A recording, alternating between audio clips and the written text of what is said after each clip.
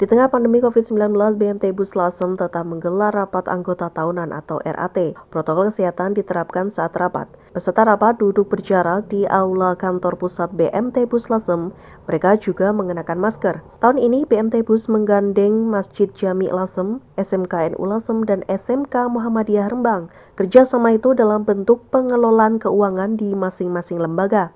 Sebelumnya, BMT Bus juga telah bekerja sama dengan salah satu universitas di Lamongan dalam pengelolaan keuangan. Salah satu bentuknya yakni pembayaran uang kuliah melalui BMT Bus. Baca berita selengkapnya di koran Jawa Pos Radar Kudus. Dari Rembang, Fahri Rinaldi melaporkan.